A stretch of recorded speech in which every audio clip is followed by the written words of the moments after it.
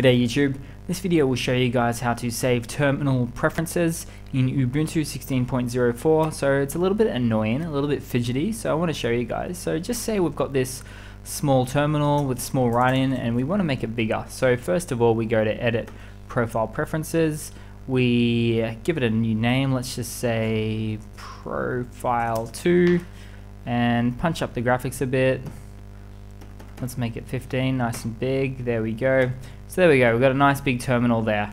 Now let's open up a new terminal and make sure that it defaults, which it does in this case because I've been playing around with it. But just say it didn't default, what you would need to do is go to Preferences, go to Profiles, select Profile 2, which typically does not stay there until you've actually done it this way. Click Close, and from that point onwards, you'll always have the one that you want nice and big.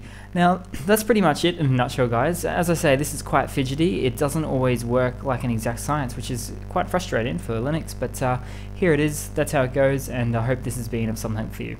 Cheers.